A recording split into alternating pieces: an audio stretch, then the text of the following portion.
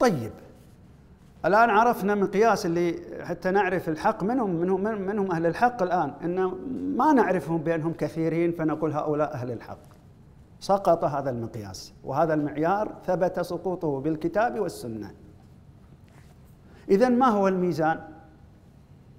حتى أعرف الحق في في غمار الفتن والنوازل التي نعيش فيها.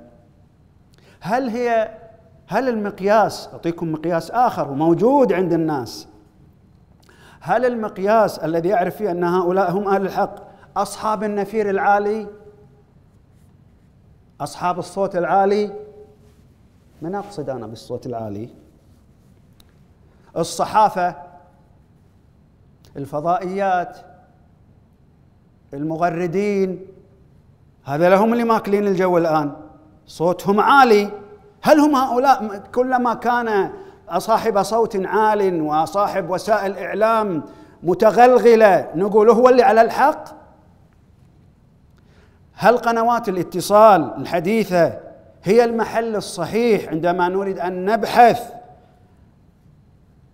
أين الحق في النوازل؟ نوازل اللي تنزل على الأمة الفتن العظيمة. النوازل يعني الفتن العظيمة. نذهب إلى هؤلاء أصحاب الصوت العالي من صحافة من مغردين من وسائل من فضائيات. نروح نبحث نقول شو يقولون هذول حتى ندل طريقنا في النوازل وفي الفتن. هل أصحاب النفير العالي هم أصحاب الحق؟ وهم, وهم الذين يدلون. هل الصحفي والكاتب والمحلل السياسي والمغرد هو الشخص المهيأ لكي نأخذ عنه ونتعلم منه ما هو الحق والباطل أيام الفتن. هذا سؤال كبير.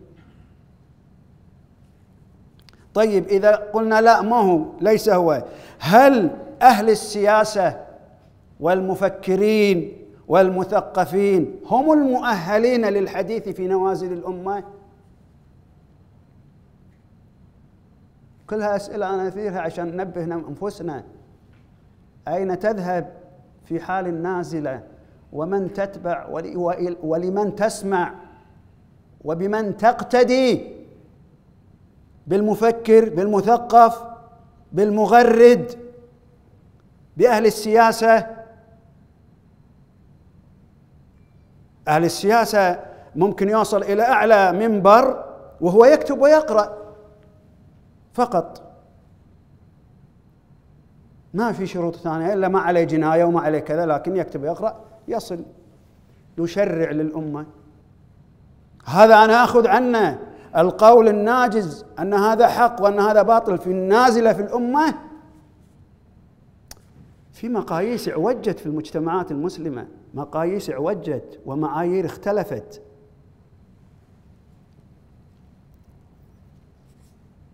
أم هم الوعاظ؟ بعضهم قد يغتر بالواعظ. على راسي من فوق الواعظ. يعلم الناس دينهم ويعظهم ويرقق القلوب ويدرس في يعني في, في الفقه. على عيني وراسي. لكن هل هو المهيأ للكلام في نوازل الأمة؟